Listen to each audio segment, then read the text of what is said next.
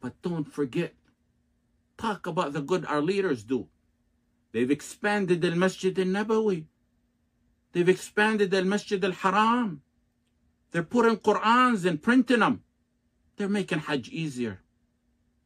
Little do they know that saving the precious life of one child in Palestine, or one child, or one woman, or man in Yemen, or in Iraq, or elsewhere, is uncomparably more important than the expansion of the physical structure of the haram all the way down to China.